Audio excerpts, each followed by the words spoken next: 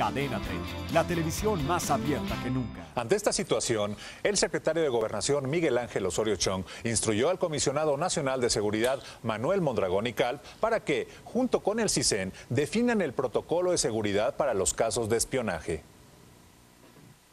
El Centro de Investigación y Seguridad Nacional y la Comisión Nacional de Seguridad definieron el protocolo de investigación para los casos de espionaje por agencias de Estados Unidos en México, informó Manuel Mondragón y Calp, luego de participar en el primer Congreso Nacional de Asuntos Internos en San José del Cabo, Baja California Sur. Tengo instrucciones claras y precisas. Eh, revisé con el jefe de la división de la Policía Científica eh, el protocolo de investigación que estamos proponiendo ah, para que conjuntamente, insisto, con el CISEN lo arranquemos. El comisionado agregó que se comenzará a trabajar en la aplicación de sistemas de seguridad de las comunicaciones oficiales en la medida que lo permitan las complejidades de los mismos.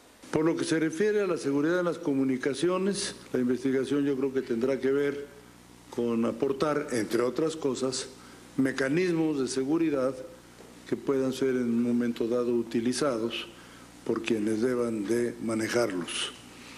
En septiembre se reveló que el entonces candidato a la presidencia, Enrique Peña Nieto, fue intervenido en sus comunicaciones y posteriormente el semanario alemán Der Spiegel detalló las acciones de espionaje para el entonces presidente Felipe Calderón por parte de la Agencia de Seguridad Nacional estadounidense, por lo que Mondragón y Cal apeló al respeto entre ambas naciones. Que los países tienen que respetarse mutuamente, que tiene que haber un profundo respeto en el manejo, en el trato, en la reciprocidad, en la equivalencia, en la imparcialidad y que es la única manera como se puede contribuir y colaborar y hablar entre los países, cualesquiera que sean, no particularizo.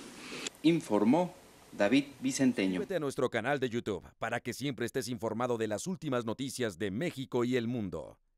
Empieza ahora mismo dándole clic a estos videos.